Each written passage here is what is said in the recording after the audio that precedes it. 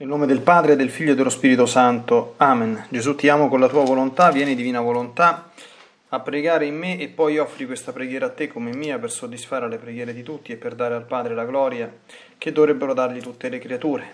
Mia Divina Maria, ti amo nella divina volontà, Regina Immacolata, Celeste Madre mia, vengo sulle tue ginocchia materne per abbandonarmi fra le tue braccia per chiederti coi sospiri più ardenti che mi ammetta a vivere nel regno della divina volontà. Mamma Santa, tu che sei la regina di questo regno, ammettimi a vivere in esso affinché non sia più deserto, ma popolato dai figli tuoi. Perciò, sovrana regina, a te mi affido affinché guidi i miei passi nel regno del volere divino e stretta la tua mano materna, guiderai tutto l'essere mio perché faccia vita perenne nella divina volontà.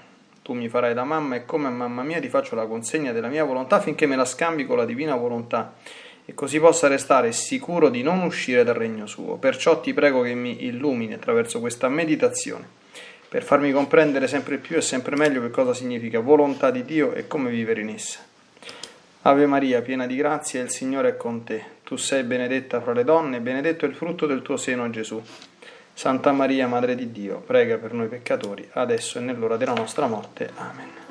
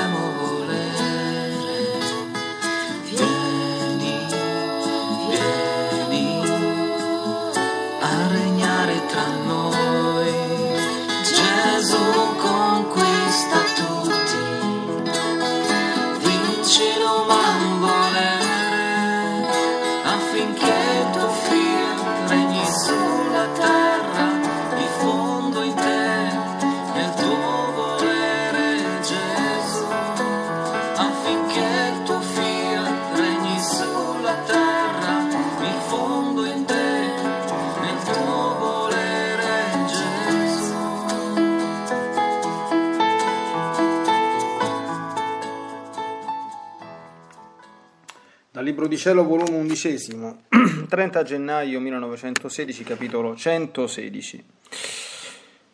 Stavo fondendomi tutta nel mio sempre amabile Gesù e mentre ciò facevo, Gesù venendo si fondeva tutto in me e mi ha detto, Figlia mia, quando l'anima vive del tutto nella mia volontà, se pensa, i suoi pensieri si riflettono nella mia mente in cielo, se desidera, se parla, se ama, tutto si riflette in me.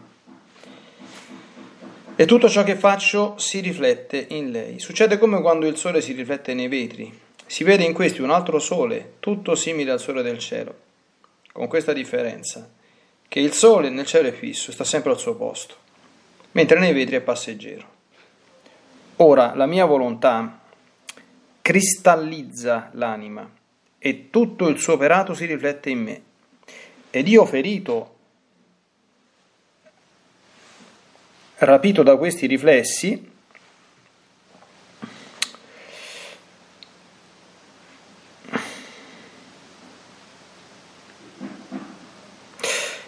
le mando tutta la mia luce in modo da formare in lei un altro sole, sicché pare un sole in cielo e l'altro in terra, che incanto e quali armonie tra loro. Quanti beni non si versano a pro di tutti. Ma però se l'anima non è fissa nel mio volere può succedere come al sole che si forma nei vetri dove è sole passeggero e poi il vetro rimane all'oscuro ed il sole del cielo rimane solo.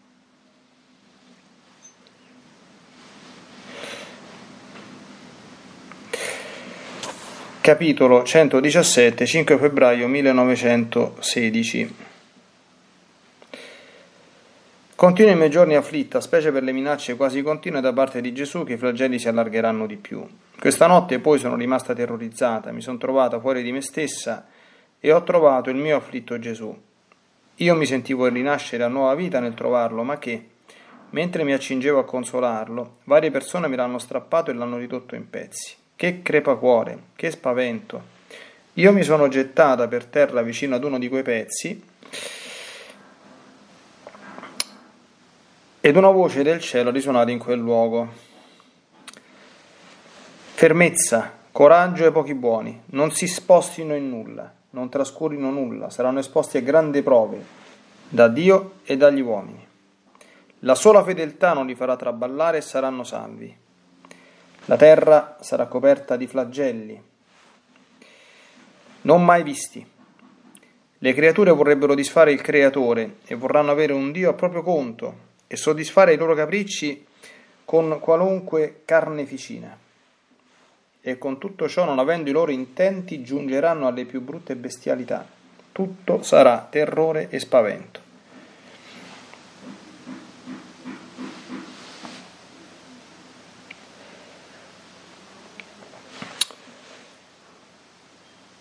Dopo ciò mi sono trovata in me stessa Io tremavo, il pensiero come, come, avevano ridotto il mio amato Gesù mi dava morte, a qualunque costo avrei voluto vederlo un istante per vedere che ne era successo di lui. E Gesù sempre buono è venuto ed io mi sono quietata, sia sempre benedetto. Capitolo 118, 2 marzo 1916. Continui i miei giorni amarissimi, Gesù benedetto scarseggia molto nel venire, e se mi lamento o mi risponde con un singhiozzo di pianto oppure mi dice Figlia mia, tu sai che non vengo spesso, perché i castighi si vanno sempre più stringendo, quindi perché ti lamenti? Ma però io sono giunto ad un punto che non ne potevo più e ho rotto in pianto. E Gesù per quietarmi e rafforzarmi è venuto, e quasi tutta la notte l'ho passata con Gesù. Ed ora mi baciava, mi carezzava, mi sosteneva, Ora si gettava nelle mie braccia per prendere riposo. Ora mi faceva vedere il terrore delle genti. E chi fuggiva da un punto e chi dall'altro. Ricordo pure che mi ha detto, Figlia mia, ciò che io contengo nella potenza, l'anima lo contiene nella volontà. Sicché tutto quel bene che veramente vuol fare, io lo guardo come se in realtà l'anima lo avesse fatto. Onde io ci tengo volere e potere. Se voglio posso. Invece l'anima molte cose non può ed il volere supplisce al potere, e così si va assomigliando a me, ed io vo arricchendo l'anima di tutti quei meriti che contiene la sua volontà, la sua buona volontà e che vuol fare la sua volontà. Poi ha soggiunto. Figlia mia, quando l'anima si dona tutta a me, io vi stabilisco la mia dimora. Molte volte mi piace di chiudere tutto e starmene all'oscuro, altre volte mi piace dormire e l'anima metto come sentinella affinché non faccia venire nessuno a molestarmi e rompere il mio sonno, e se occorre devo affrontare lei le molestie e rispondere per me. Altre volte mi piace di aprire tutto e far entrare i venti, le freddezze delle creature, i dardi delle colpe, che mi mandano e tante altre cose. E l'anima deve essere contenta di tutto, deve farmi fare ciò che voglio, anzi deve fare sue le cose mie. E se io non sono libero di fare ciò che voglio, sarei un infelice in quel cuore, se dovessi stare attento a farle sentire quanto godo e nascondere mio malgrado quanto soffro. Sicché dove starebbe la mia libertà? Ah, tutto sta nella mia volontà. L'anima, se prende questa, prende tutta la sostanza del mio essere e rinchiude tutto me in lei. E come va operando il bene, tenendo in sé la sostanza della mia vita, fa uscire quel bene da me stesso e uscendo da me come raggio di luce corre a bene di tutte le creature.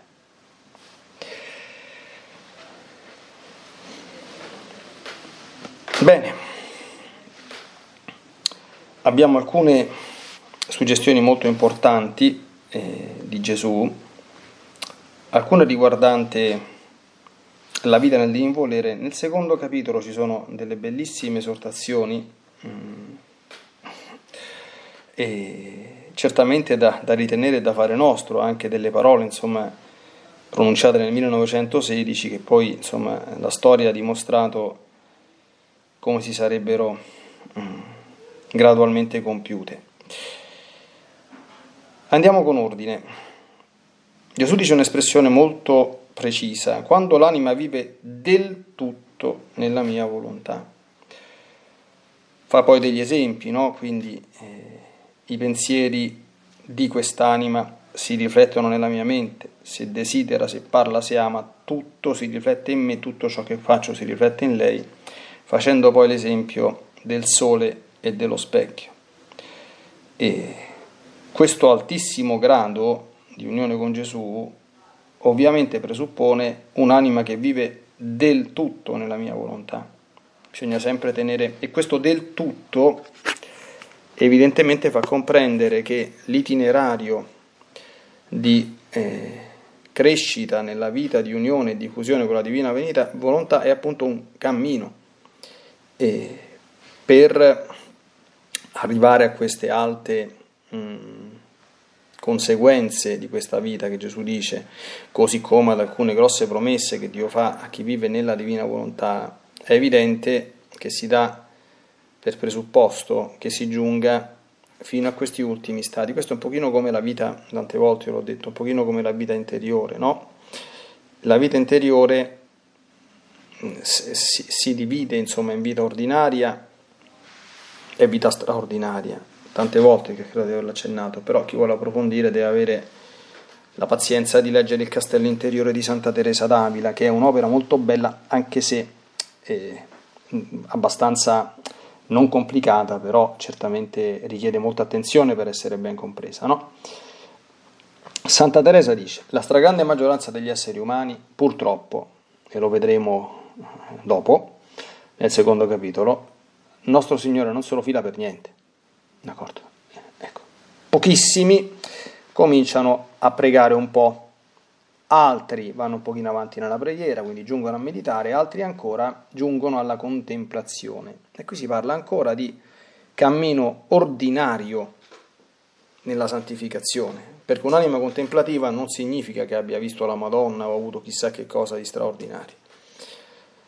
Arrivati però fino a un certo punto, Santa Teresa spiega bene, questo è il massimo a cui si può giungere, diciamo così, in maniera ordinaria, quindi con una vita eh, interiore fondata sulla grazia preveniente, coadiuvante e santificante e sullo sforzo dell'anima che, e questo è il requisito per poter fare una vita di questo genere anche ordinaria, decide fermamente di santificarsi ed è disposta a procedere con costanza e perseveranza qualunque cosa succede. Questo spiega Santa Teresa d'Avila. Dalla quarta, quinta dimora in poi cominciano, eh, c'è una fase in cui cominciano le prime esperienze soprannaturali che sono molto simili e non sempre ben percepibili da quelle ordinarie. Avviene nel passaggio da quella che lei chiama l'orazione di raccoglimento all'orazione di quiete. Ecco, l'orazione di quiete è già un'orazione, come si dice, infusa, non più mh, mm, quindi eh, azionabile dalla buona volontà dell'anima pur eh, sostenuta dalla grazia, ma un'orazione che Dio infonde, quindi che, tipo, che se, lui te, se lui te la dà, la vivi, se non te la dà, non la vivi.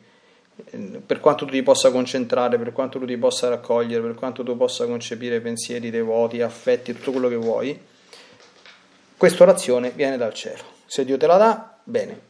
Se Dio non te la dà, non te la puoi dare da solo. Ecco. È chiaro che per arrivare a questi livelli, diciamo così, se mi passi il termine, bisogna avere percorsi precedenti.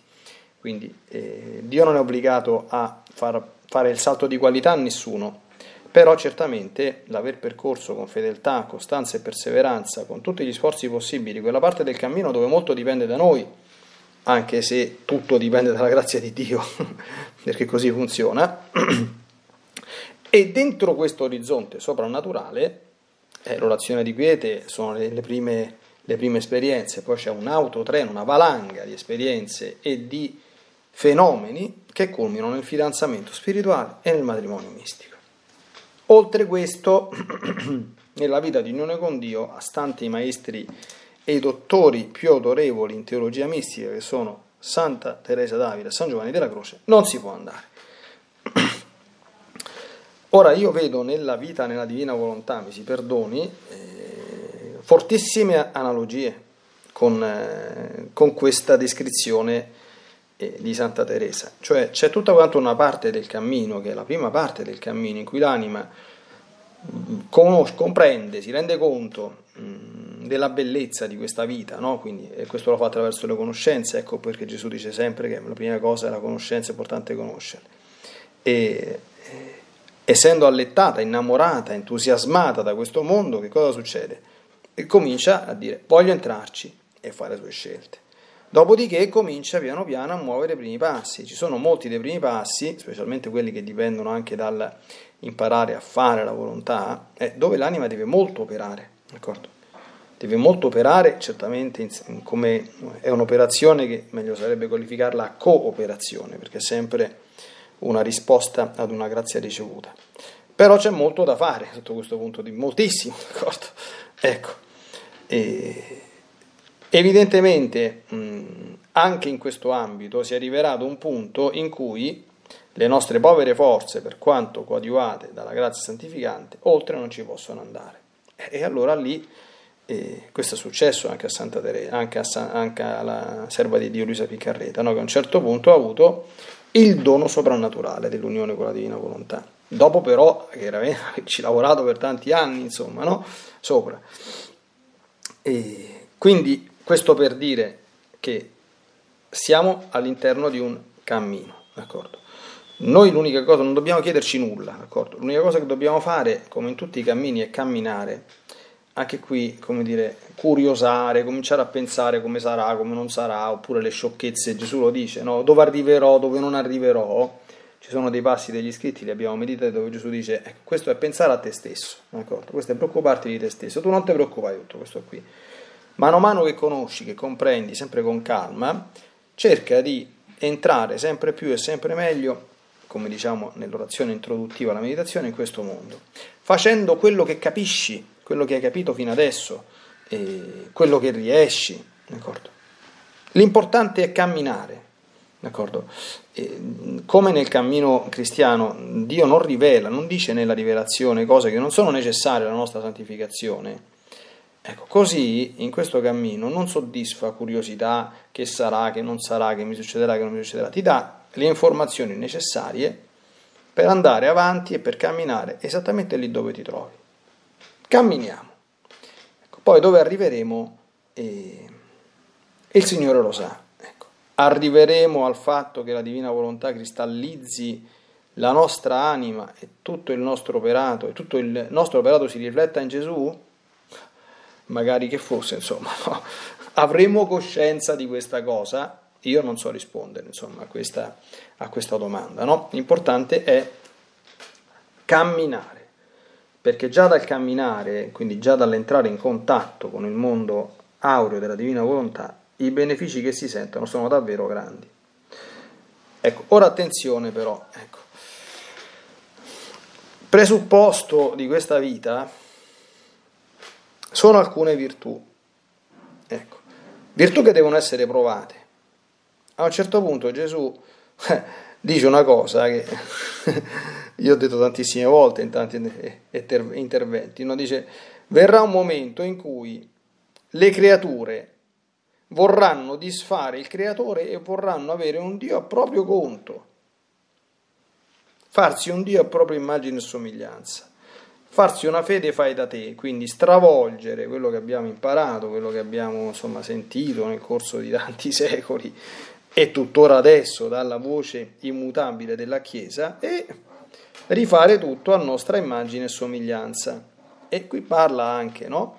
E, mh, giungeranno le più brutte bestialità. Qui non si parla soltanto di bestialità, a mio avviso, intese come parla qui di, di violenze gli uni contro gli altri, di carneficine, insomma, anche qui, il secolo scorso, diciamo che ha offerto una lugubre, macabra e purtroppo vera però eh, rassegna di questi brutti episodi, ma anche il tasso, diciamo così, di abbrutimento dell'essere umano, insomma, ha servito oggi più che mai alle passioni più basse, che certamente insomma, non sono eh, benedette da Dio, quando, specialmente quando sono passioni eh, intrinsecamente disordinate, è certamente una realtà. Il problema, il problema proprio a mio avviso eh, molto attuale ecco, è che in questo abbassamento, in questo disfacimento del creatore e rifacimento quindi di una fede a proprio uso e consumo, ah, si vorrebbe anche avere la benedizione di Dio e si cerca anche eh, la benedizione e, e, il patrocinio addirittura eh, di, di, di, di, Dio della, e della Chiesa stessa, cosa che non sarà mai. E qui Gesù chiaramente esorta la fermezza, il coraggio ai pochi buoni, non si spostino in nulla, non trascurino nulla. Quindi la, la fermezza, no, il coraggio, il non spostarsi neanche di una virgola. D'accordo? E questo si fa attraverso la fedeltà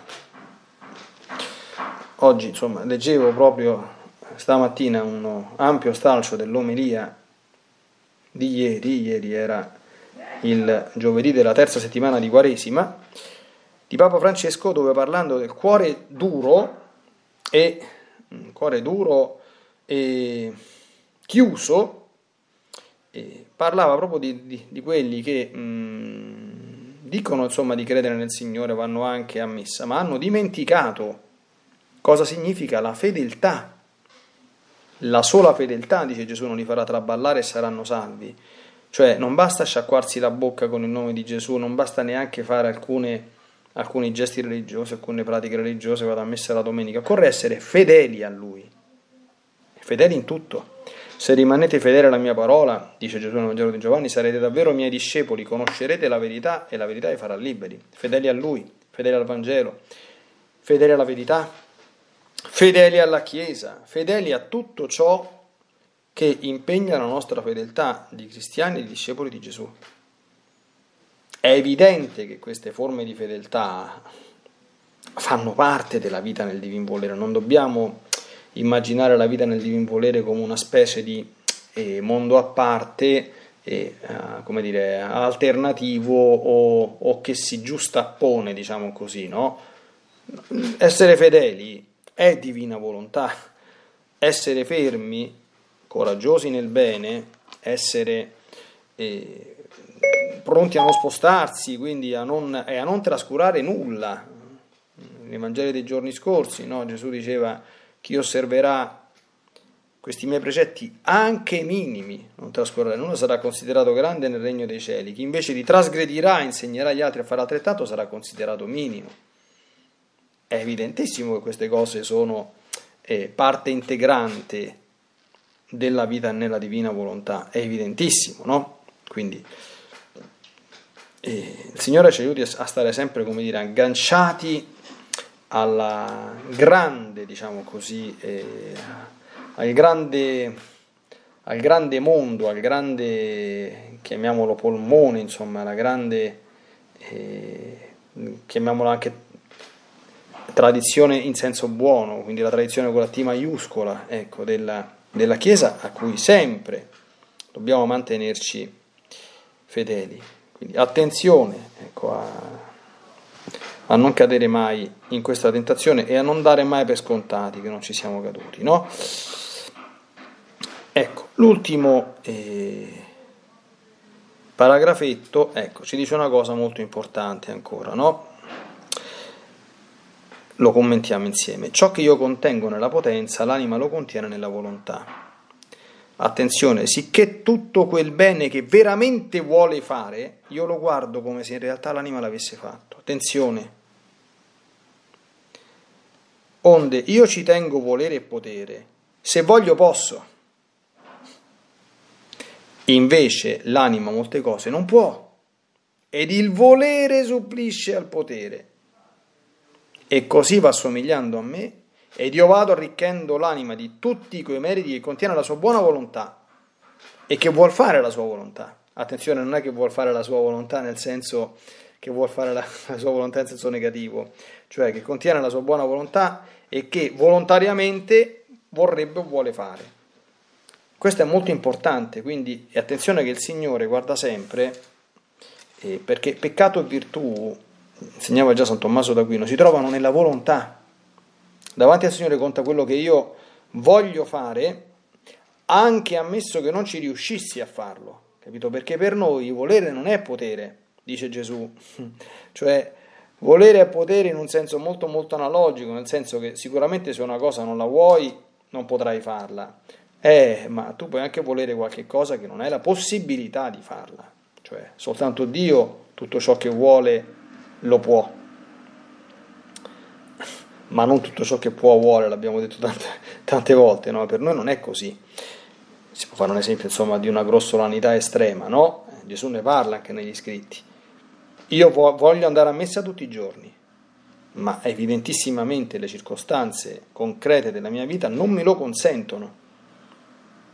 E io non posso eh, andare a fare uno strappo in certe circostanze, quindi andare a creare dei disordini, pur anche in vista del poter fare una cosa tanto buona come la partecipazione alla Santa Messa.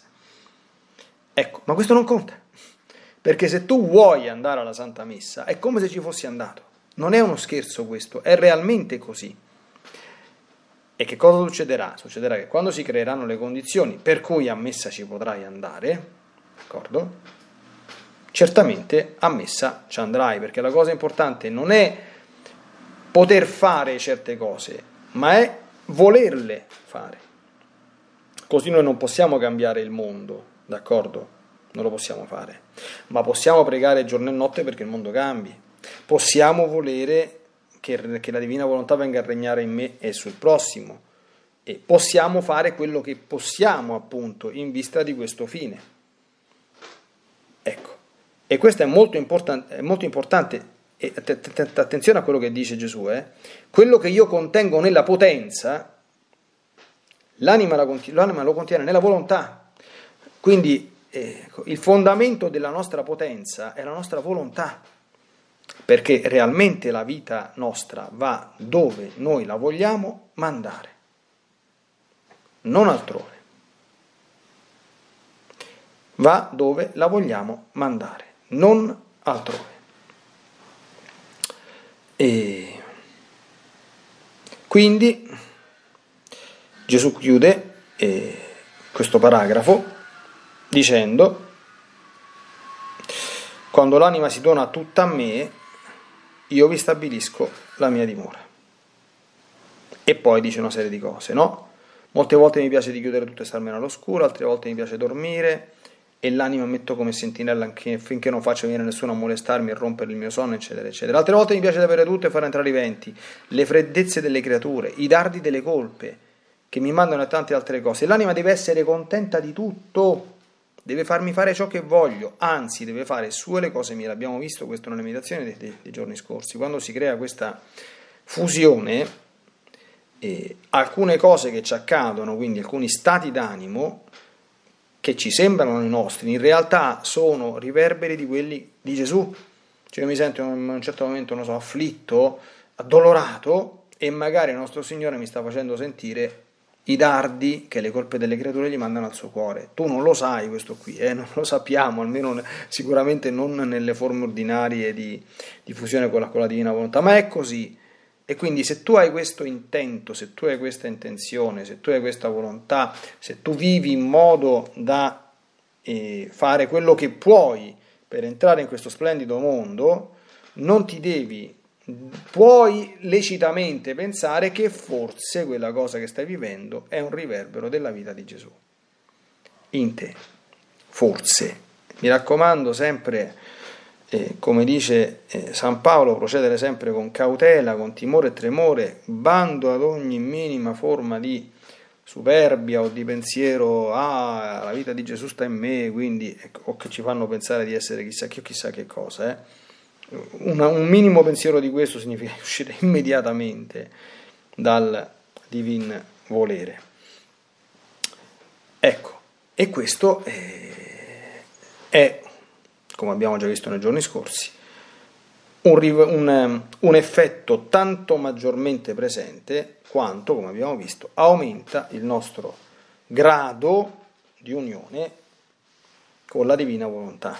Abbiamo visto. Quindi è un percorso, è un cammino che ha delle tappe di clamoroso arresto, come quando uno esce grossolanamente dalla divina volontà, mancando di fedeltà, mancando di coraggio, mancando di perseveranza, cedendo alla tentazione di farsi un Dio a propria immagine e somiglianza o una come dire, dottrina strampalata, insomma, e che non ha niente a che fare con quello che ci è stato trasmesso da Santa Madre Chiesa. E viceversa c'è una mh, mm, progressiva crescita nella vita, nel volere, tanto quanto l'anima vuole e si indirizza verso ciò che riconosce essere bene, anche qualora non avesse la possibilità materiale di poterlo mettere in atto. Sappiamo la potenza che hanno gli atti interiori, gli atti di fusione, i giri, tutte queste cose che da un punto di vista operativo non comportano nulla di percepibile, di materiale, ecco, di, di visibile, di produttivo, diciamo così, però da un punto di vista soprannaturale producono effetti straordinari di grazia su noi e su tutti.